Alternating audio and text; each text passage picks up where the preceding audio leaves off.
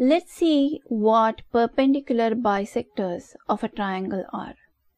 Here is a triangle, triangle ABC. Now first of all, what does bisect mean? Bisect means divide into two equal parts. That means a bisector is something that is going to divide something into two equal parts.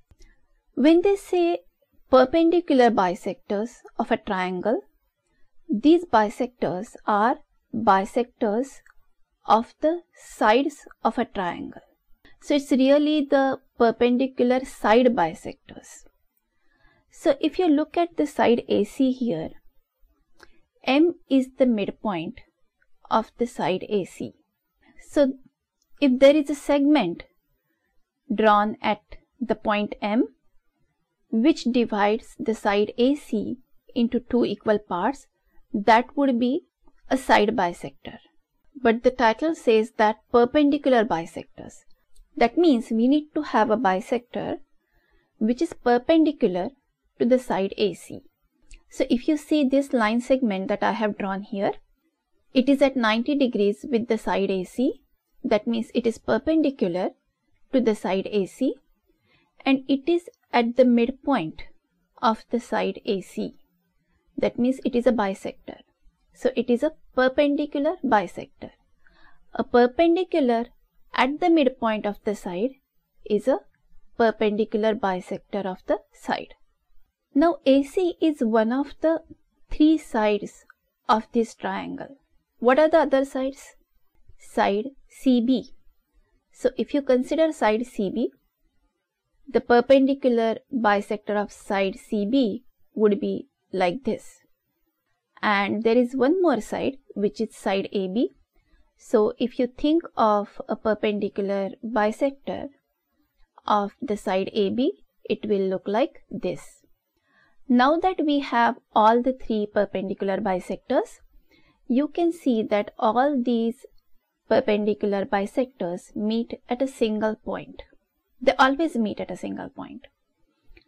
This point is called as the circumcenter of the triangle. The circumcenter is the center or is the point where all the perpendicular bisectors of the triangle's sides meet. If you use a compass and if you draw a circle with the circumcenter as the center of a circle, you can draw a circumcircle. What is a circumcircle? The circumcircle passes through all the three vertices of the triangle. So the one I have drawn here is the circumcircle of this triangle and the center of the circumcircle is the circumcenter of this triangle. The triangle we saw just now is an acute triangle.